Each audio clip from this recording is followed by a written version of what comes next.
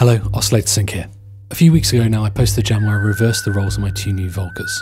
The Volca modular was providing the percussion sounds, whereas the Volca drum was on melody duties. In that video, I asked if people would be interested in some follow up content, talking about some of the ideas I used to put these patterns together. The consensus seemed to be yes, so here we are. I'm going to talk about using the Volca drum melodically over two videos.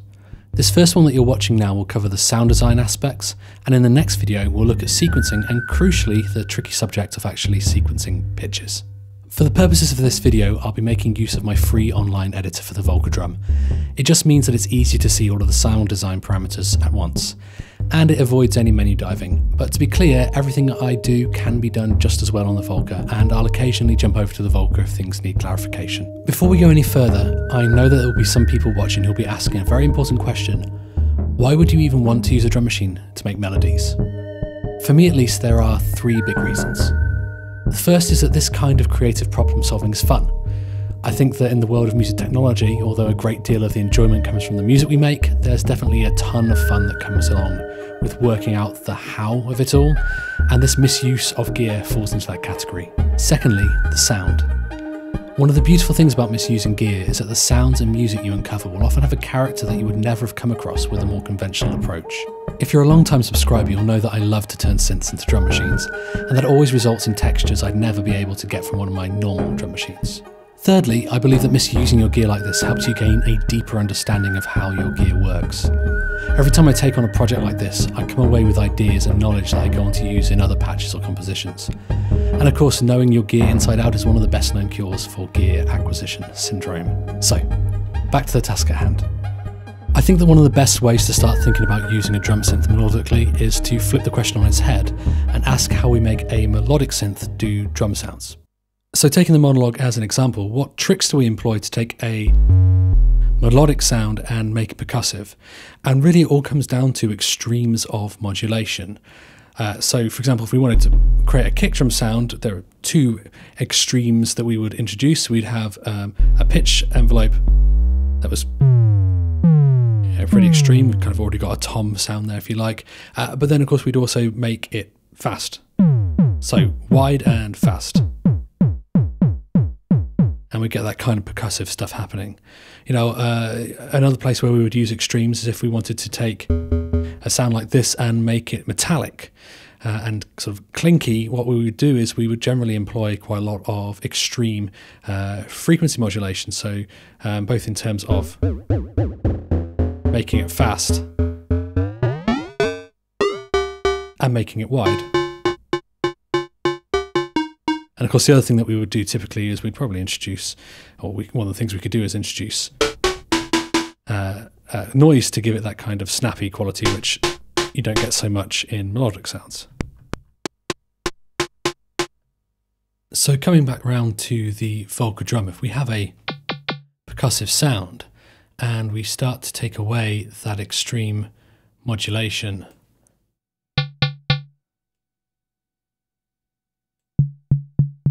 we actually end up with a fairly conventional sound. And that's because what we have with the Volca drum is actually a fairly conventional synth voice, um, but one that is just sort of set up so that it's quick to get to these kind of percussive sounds. But that doesn't mean that we can't do more conventional things with it instead. So let's just quickly talk about the voice architecture. You've got the six parts, which would be your six drums normally, and each of those parts are made up of two identical layers, uh, plus some additional processing out at the end there. Um, so let's just uh, quickly turn down the level on one of these layers, and let's just talk about just this one here. I'll just turn this volume back up. Uh, so what do we have? We uh, start our layer, our voice, with a sound source that will either be a sine wave, a saw-ish wave, uh, and then you've got th uh, three uh, different noise sources, each with a different type of filtering. Um, you have a level control for that sound source, and then you have a pitch control. The pitch control, when you're dealing with one of the pitched uh, sound sources, the sine or the sawtooth, is pitch as you would expect. When you have it on the noise sources, it's your filter cutoff. And always remember that you do have different flavors of filter. Uh, not necessarily super useful when you're making uh, melodic sounds, but definitely when you're making percussive sounds, it's worth bearing in mind that you do have those different filter types. I think some people miss that. So next up, you've got a way of modulating that uh, pitch control or filter control, depending on what your sound source is. And that can either be uh, an envelope type modulation, an LFO type modulation, or a random kind of pseudo noise source modulation. How much modulation is happening and how fast it's happening is governed by the mod amount and mod rate controls.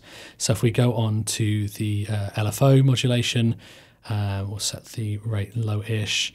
Um, as we just do this so we can hear it a bit better. Uh, as we turn up the mod amount, we can hear that we've got that pitch modulation and a little goes a long way because uh, it's set up to work best with sort of percussive sounds and you want the extremes there as we've discussed. So you know, even at 13 there, we're already getting very, very seasick. So we have to moderate our, our use of that a little bit. And then finally, the sound goes through, um, the sound for each layer goes through an amp envelope generator, the amp EG, which is kind of like our VCA on a um, sort of conventional synth, if you like. Um, we've got uh, controls for the attack and the release. So at the moment, the release is nice and long. It can be short and plucky. The attack again can be made much, much longer. Uh, and then we have these three different types. Uh, so we have a linear one, which is what we were just on there. We have an exponential, which I quite like for these sorts of sounds. It kind of has this cool swooping thing. That's also really cool when you're being really plucky. seems to have a bit more of a natural reaction um, to the sound. And then the the last one here is this really cool one, which is more useful for percussive sounds. This is kind of like a multi trigger attack. Uh, and the way this works is that your release is your release, and your attack governs how many multi taps uh, and how, uh, well, not how many there are, but how quickly they happen. They can go quite slow, like that. The other thing that's worth noting about the AMP envelope generator is that um, it is a trigger based um, envelope, which means that uh, if I tap it and then I tap it again while it's still happening, the whole thing will restart. I don't need to be holding it down for it to do the whole journey, and if I tap it partway through, it will restart the whole thing. So I've already kind of hinted at the first tip or rule for creating melodic sounds, and that basically is keep things moderate. So um, for example, let's start with the envelope generator, as we were just talking about it. The uh, attack when it's set really, really low is very, very sudden and clicky. And just softening it a little bit can make things a little bit more sort of natural sounding. Again, you don't necessarily want very quick releases, something moderate, although, you know, if you want to get ambient, sure, have it set uh, long. When it comes to the uh, mod amount and mod rate, I mean, these are the places where you really do need to be um, very moderate indeed. So, you know, as we've seen, even uh, as little as sort of 13 um, on the amount when you're doing a, a LFO, it's kind of too much to be useful for a lot of sounds. So I find really eight is um, kind of where things max out for, for standard sort of things. And similarly with the rate, it doesn't take you long to get into sort of FM sounds, you know, about halfway up on the rate here. And we're already into generating additional harmonics, which is useful for other stuff. We'll get to that in, in just a second. But if you're wanting actual noticeable pitch modulation, you want to be down here in the lower areas. I will say also similarly, right at the bottom, it's really, really slow. So sort of in this sweet spot here, you'll probably find most of your most useful sounds for doing vibrato. So next, let's talk about timbre. So in terms of our sound sources, we have, let's get rid of this vibrato for a second, make it a lot less. We've got a, a boring sine and a also sort of boring saw-ish tooth wave. Um, and if we were stuck with just these two variations and that was all we had, this wouldn't be a very exciting synth.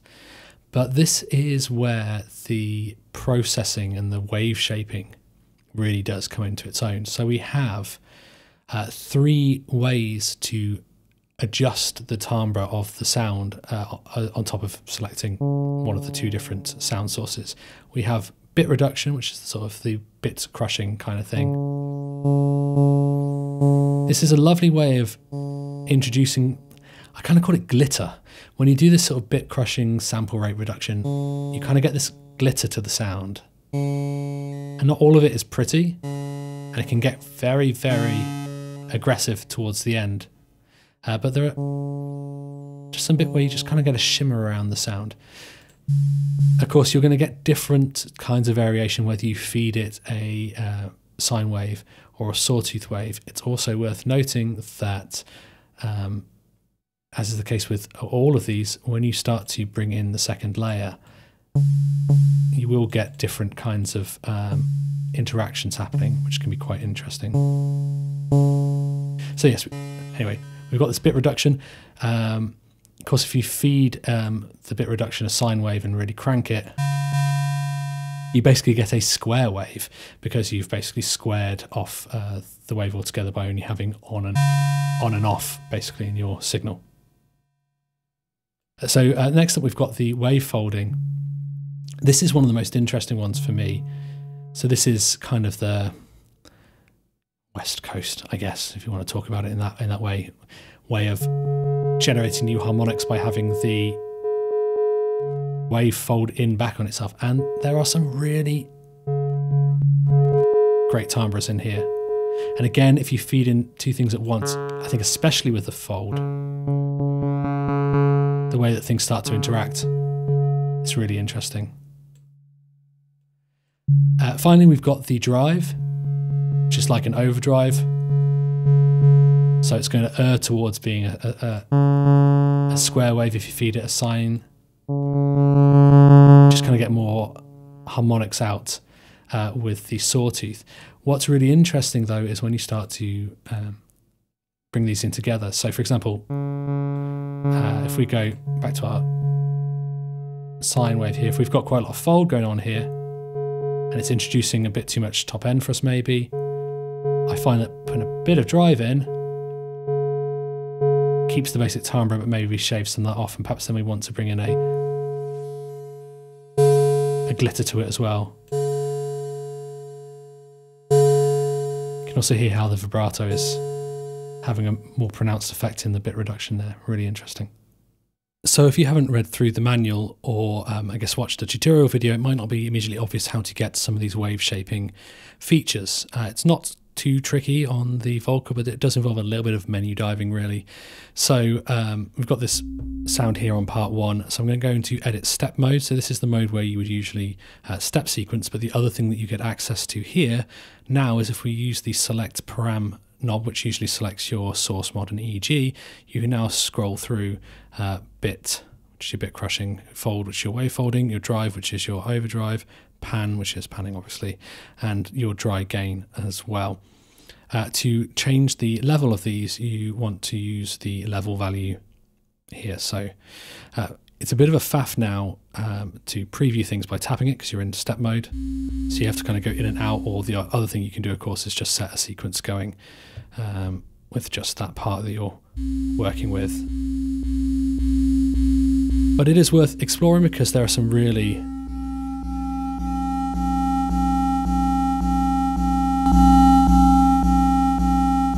interesting textures that you can get at.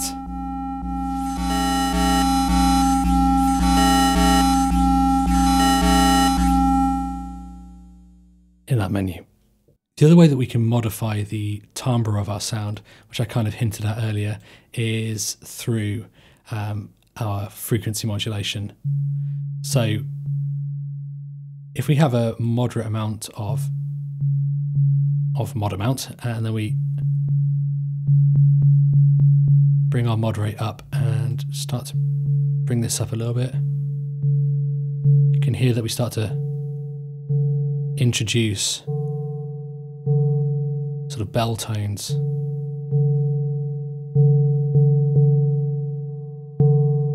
And as long as we don't push this mod amount too much, we don't seem to push ourselves away from the fundamental pitch.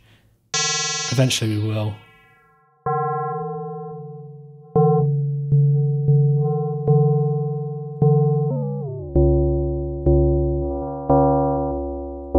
But there are lots of sweet spots in there. This also sounds great when you start putting in the other processing.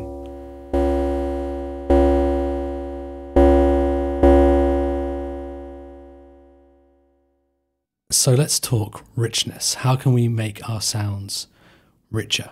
So here I've got kind of a start of a pad sound. Uh, so that's just one layer. I've got the second layer tuned roughly an octave above. And of course, the fact that it's roughly an octave above is the first place where we can get some of our richness by having things slightly detuned away from each other. Um, we get that kind of beating happening against the frequencies, but it's still not super interesting. Uh, but one thing we can do, of course, to introduce sort of further um, frequency interaction and therefore richness between the two parts of the sound is we can add a little bit of LFO modulation. So just a little bit, maybe we'll try five and minus five. The uh, mod amount, uh, minus six, minus four. The mod amount um, is bipolar, so you can make it go up or down to begin with. So now you can hear that we've got a little bit more warbling between them. But if we want to get really, really thick and interesting, uh, down on part four here, I've got basically the same sound duplicated, possibly with some different uh, notes in. So I'll just um, unmute that and uh, let's have a listen to both of those together if I play parts three and four together. Oh, let's just match up the envelopes there. Let's try that again. Pretty nice, pretty nice. But what can make it particularly big is if we actually pan these two parts left and right. So we'll go 75, 75 either way. So not hard left and right because it sounds a bit weird, but um, that's quite nice. But this is still not quite there. I want it bigger, uh, more ambient, more um, frequency interaction happening. How can we do that? Well, we can do that by introducing ambience, and this is a great time to talk about the waveguide. So every part has a send amount for the waveguide. I'm just going to put that to about halfway-ish on both of those two parts there.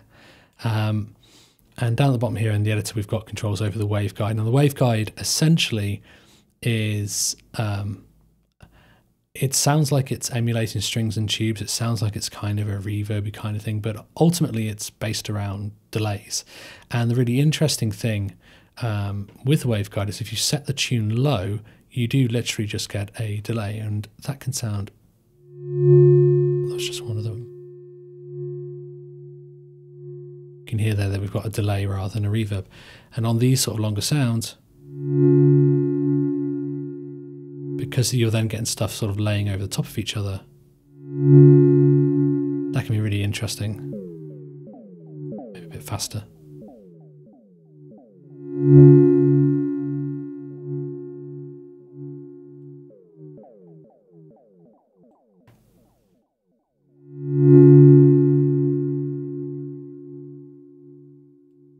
And of course, as you bring the tune up, you do get into more of a reverb place, which can also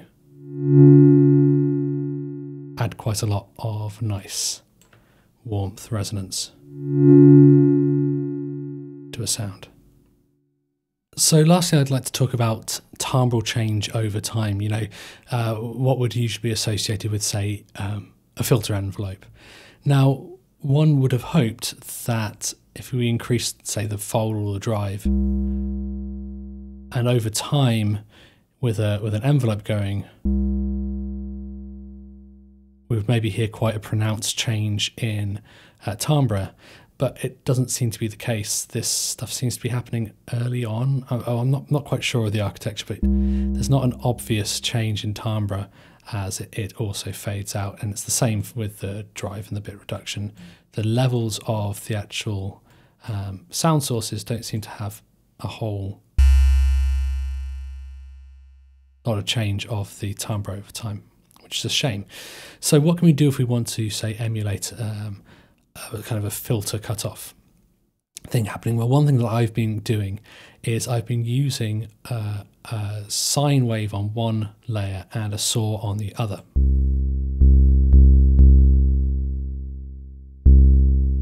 Now, that isn't obviously giving us a uh, filter cutoff, but uh, one way that you can approximate this is by having the uh, sawtooth layer fade out sooner than the sine. So you can hear that we've got a richer attack and then a more sort of fundamental decay. This is emphasized, I find, if you use a bit of wave folding.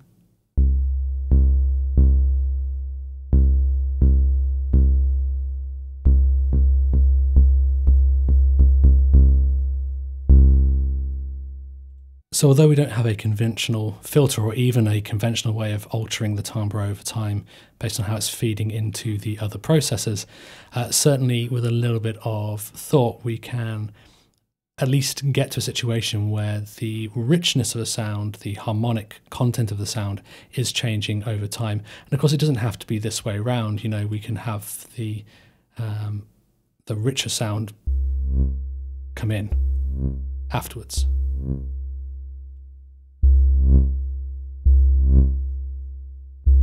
Again, this is definitely emphasized when we're using the fold and the drive.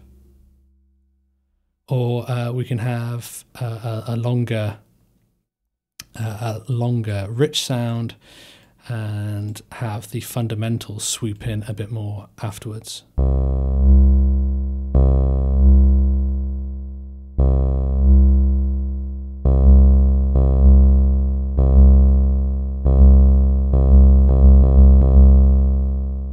For example. That could be quite interesting if we used the uh, multi. Almost like there's a pulsing LFO underneath there. So, anyway, I hope that was interesting and has maybe given you some ideas of parts of the Volca drum that you can explore further. As I said at the start, this is the first of two videos, and in the next video, we'll talk about sequencing, uh, melodic parts on the Volca drum and especially uh, the issue of how to pitch the sounds.